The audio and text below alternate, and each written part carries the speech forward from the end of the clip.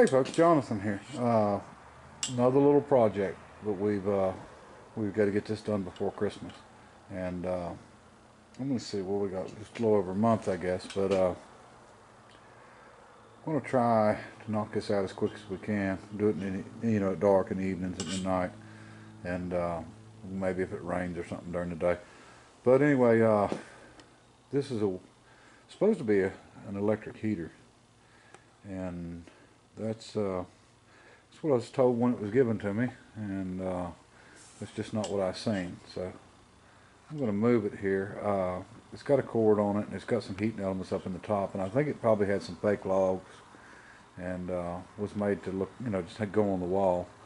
But uh, I'll show you what what I seen when I looked at it. Okay, you can probably see now what I'm talking about. Uh, it looks like a Model T Ford body, and just a miniature one and of course it'll have to be cut and lengthened and put on a frame and you know a lot of changes here and there. Uh, but I want to build my grandson a little uh, just a little slow moving go-kart that uh, you know I don't want no fast go-kart or anything like that. He's already riding them little electric uh, well he's got electric four-wheeler and a little electric wrecker that he rides around and uh, power wheels I guess what you call them but uh, anyway I want to make this into a Model T and we're going to just like I said, make it run slow. I've got two lawnmowers. I actually, uh, when I got this body, which has been quite a while back, well, I call it a body, when I got this heater, uh, I sort of put the word out to some friends of mine that I needed a uh, riding lawnmower with a twin cylinder, uh, just an old one to build this out of. And uh, I had two different buddies show up one day after the other, uh, bringing me lawnmowers. So ended up with a uh, Troy-Bilt with a uh, Kohler 23 horse I believe. Uh, big engine vertical. And ended up with a I think it's a Craftsman but it's got a Briggs 18 on it. And I may run the Briggs 18 I'm not sure. But we're not gonna we're not gonna try to overcomplicate this. We probably end up will because uh, I usually do. I've got this uh, lawnmower around here. I know I'd uh, done the first part of this video it was the other day or few days ago. I finally got the lawnmower around. I had it loaded up on the back of one of my rollbacks. Uh, this is a pretty simple setup. Uh, one of my friends, Kyle, brought me this, and then, uh, believe it or not, uh, the following day or the day before, uh, another friend brought another one. So I sort of had a cho choice between two different mowers. The other one had an 18 Briggs horizontal shaft, and uh, a but it had an issue with the transmission jumping out. And of course, you had to push the clutch in, put it in gear, you know, let it out to go. The reason I chose this lawnmower, not necessarily because of the Kohler 23, because this is the Kohler Courage. They don't have the uh, the best of a reputation, but uh, what was wrong with this particular mower first, I'll tell you. Uh, it don't start right. It's either got, you know, there's there's compression releases in this engine, and there's a few things that can happen to these to keep them from starting right. And, uh, you know, it's not, the compression release is not working, but I it could be something as simple as a uh, valve guide has slid. Uh, we're going to check into it and see what we can figure out, but we'll get that taken care of. That's not a problem. You can actually start it. You just have to hit the starter and then you got to spin the crank by hand and you can tell that the compression release is not working at all. The other problem was the steering. One of the steering, see, wasn't this side, tires flat on this side. Yeah, steering arm had actually just popped loose, was just wore out. So uh, that's not an issue either. Now this has got a variable speed drive. All you have is a forward and a reverse. And then as you hit the pedal, the farther you hit the pedal, the faster it goes.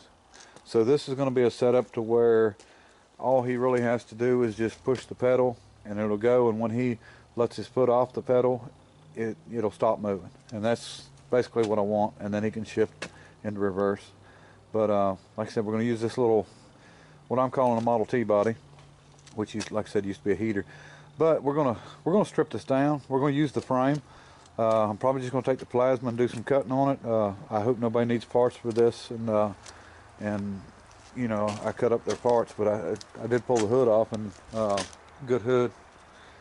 But uh, anyway, I'm gonna get it uh, get the plasma fired up. I'm gonna cut it down how I want it. I've already looked it over really good and uh, of course we'll get the gas tank off and out of the way. The steering, I'm doing away with this steering completely. Uh, I've actually got a, I've got some options with the steering, so including a little rack and pinion. So uh, we're going to try to make this quick and and have this done for Christmas for him, and and uh, so we're rolling on. Okay, folks, we've got it uh, the back side of it taken down, as you can see, and uh, so we're we're getting there. Uh, didn't take but a couple minutes, and what I'm going to do.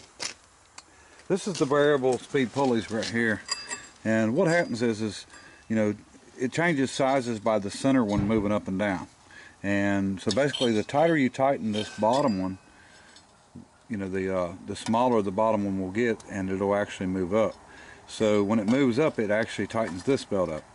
Well, one of the problems I see already is the spring is broke, and it has been broke on this one, and it's out all the way. So I would say that this thing was probably taken off at a high speed. Once this belt was pulling, it moved this one up and it was taken off at uh, at such a fast speed. That's why I was able to actually pop a wheelie on it, believe it or not. But I get where the light. I'm sorry about the light, but uh, but anyway, if if I may have to move this rear end back, make this thing longer.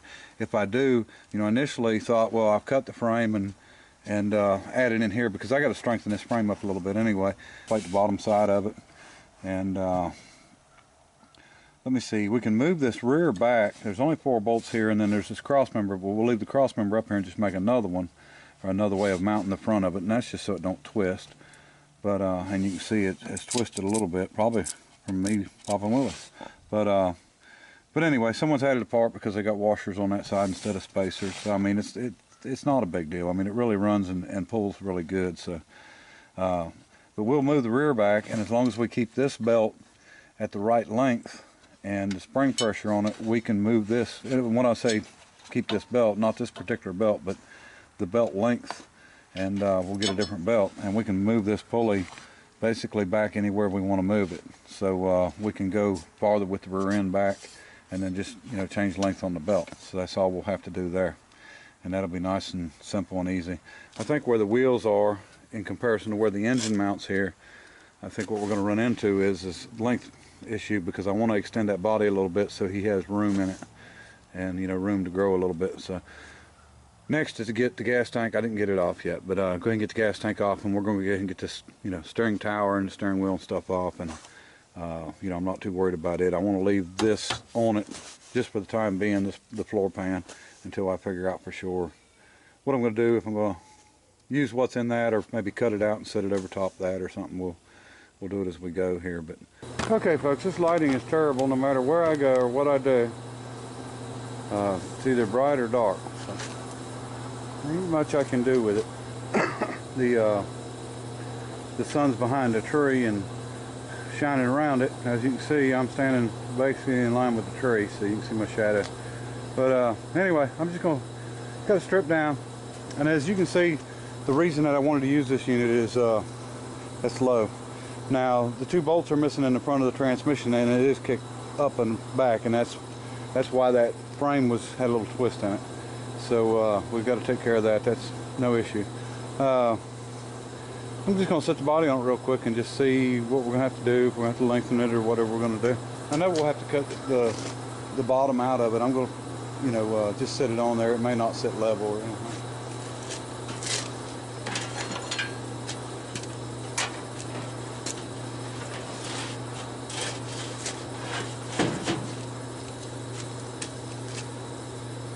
Well, that's a start. I can see I'm definitely going to have to lengthen it. Have to come back uh, probably by the time we're done 12 inches maybe. Uh, but we can uh, we can do a temporary setup on that so we can get a get a length. Now this may be long enough inside. I was going to take this uh, track out of it and uh, build, build a platform for his back and then uh, cut out inside the the cowl there for his feet and uh, he'll be able to get in and have some room but you know like I said as he grows it's gonna get worse so you know the longer the better so all right next thing I guess is uh, I got to get it lengthened I got to get this crap off the front get the muffler cut off because we're going to run straight pipes down and out and out the back uh, I would love to run them as side pipes but uh, I don't want him to get burnt so uh, we won't do that so uh, anyway, let me get at it. Okay, folks, uh, I've been towing a bunch and uh, just now got back. And while I was out, I stopped by Tractor Supply and picked up some different wheels and tires for the front. And uh, I'm going to have to make some bushings for them because they're uh, they're 5 8 hole where I need a 3 quarter, but I'm going to have to live with them. Uh, I like the tread on them. It's sort of like a car tread. And uh, we're going to try to at least pop the bearings out, maybe put them on to get it leveled out some because it's going to be hard to do any real framework or anything with one flat tire and unlevel. So we'll do that real quick and then uh, I'll turn you back on. There we go. That looks better. Got some little tires on the front and brought the rate down a little bit. Uh, we still may do some little changing and swapping with it, but uh, you know what we're really going for is sort of a, a cartoonish look anyway. We want uh, you know we want it up in the back, big tires in the back, little ones in the front, and then uh, probably going to put some big side pipes on it. Now, I'm not going to hook them up. I'm going to run exhaust out toward the back. I don't want to hook them up because I don't want him to get burned on them, but I'm going to probably go ahead and put some on it anyway. Uh, just fake some in there somehow. But uh, anyway, I'm going to get the rear end moved back. If you know, even if it's just not on, but on jack stands, and then I'm going to get the body down, and then we're going to take a look and see what it looks like. Okay, we got the rear out and moved back, and I'm going to make a few changes here.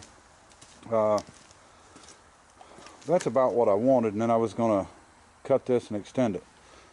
Okay, what I figured out is if we do this right, put the steering right in the center and I can cut into this and curve it back and it'll lay about where this fan and this heater assembly is which is coming out and that'll bring the seat up at an angle and then this whole kick panel down here is going to come out and he'll be able to have his feet up all the way into the cowl. So what I'm going to do is I'm going to move this back forward and we'll leave this like it is. I can make enough room in there. If you remember right, go-karts, when you sit in them, you know, your knees was out to the sides. They were short. So I think I can work with that. And later on, I can, you know, I could even move back farther if I needed to. Uh, because I like about where the tires are. The back of the tires about even with the back of the body. And uh, but you know it's going to go down. So we're going to cut into here and we'll put some little what looks like fender wells inside. And we may even later on throw a couple fenders on it or something. Uh, but I think that's going to work. Uh, I don't think I like I said I don't think I need to lengthen that. And I can shorten up my wheelbase some because as you can see it was getting kind of long. And and you know this is not a we're not trying to build a dragster. We're trying to build something that he can actually ride around on and if it's real real long it's going to be hard to to maneuver and turn so. We're going to shorten it up about another bring the wheelbase in about probably eight inches nine inches. And I think that will I think that will work. All right I'm going to move some stuff around a little bit more before the dark gets here or the lack of light. Okay we've got the length about where we're we're going to keep it at about where it, right where it's at. Now, the frame at the back is up, you know, a few inches, and, and the body's up a few inches, so it's all going to sit down lower. And as of right now, the body's actually tilting. But, uh, but anyway, I'm just trying to get an idea on length and stuff. And like I said, once we we cut it out, now the rear end will be back probably another two inches. We've got a little far forward, but that's just where it ended up at. So uh, I think that's going to work. Okay, I got some I got some work done on the clutch for the uh, for the uh, Chevrolet, the four-wheel drive C10, and uh, I'm going to keep working on it, jumping back be between this and that. This here, like I said, I'll probably roll it in the shop once I get the frame where I where I want it at, or get the rear end where I want it at and bolt it in, and then I can work on it at night and stuff. But I want to have this and that four-wheel drive done by Christmas, and uh, shouldn't be no problem. This here, you know, will go quick. This is just a little stuff. And uh, you know, when you're modifying something, you're not necessarily fabricating it or building it. You're just modifying, so it don't take don't take as long. Especially if you've thought about it for. I've probably been had this one in my head for about a year, so you know I know what what I wanted to do and uh, you know my plans. So anyway, we'll uh, we'll keep at it and and uh, I'll show you updates on this too and uh, got some video done on the truck, but I mean like I said it once I get enough for a video, I'll get it posted too. And uh, anyway, yeah, appreciate everybody watching, and uh, until next time. Bye.